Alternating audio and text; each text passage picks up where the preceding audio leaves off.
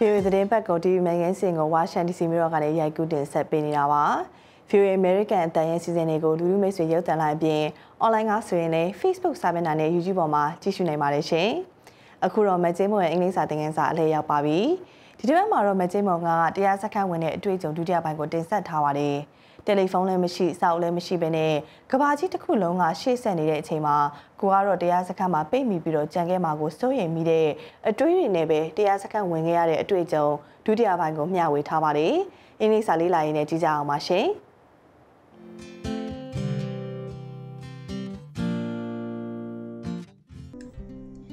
I knew the only person I could speak to was my meditation teacher. So I tried to bribe her, begging for my phone back, a lifeline to the world I had just left behind. But the teacher smiled,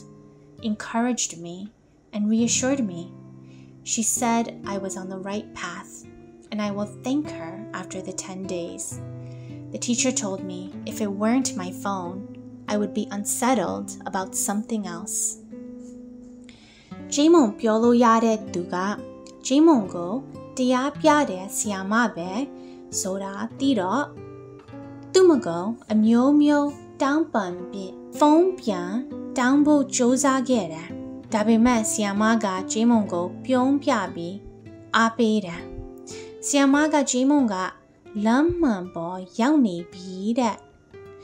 ဒီဆယ်ရက်ပြီးရင်ဆီယာမကိုကျေးဇူးတင်တဲ့ဆီယာမပြောခဲ့တယ်။ဂျီမွန်ကဂျီမွန်ရဲ့ဖုန်းအတွက်ဒီဖုန်းကြောင့်မဟုတ်ရင်တခြားအရာကြောင့်စိတ်ပူပင်မှု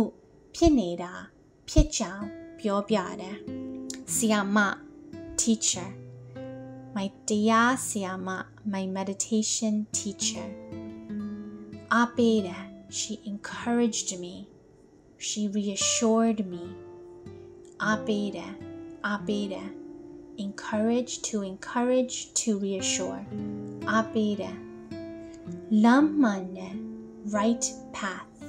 Path, la. Path, la. Mande, lamane. Right path. As the days passed,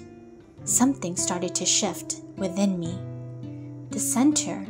which had seemed like a confining space, started to feel like a little slice of heaven. Yetwe jalada, the zone the ku sate, pianle lade. Che cho mi ni the lo kanzane sakanga. Gang kim bone the kulo. The pipi sate kanzala yade. Gang heaven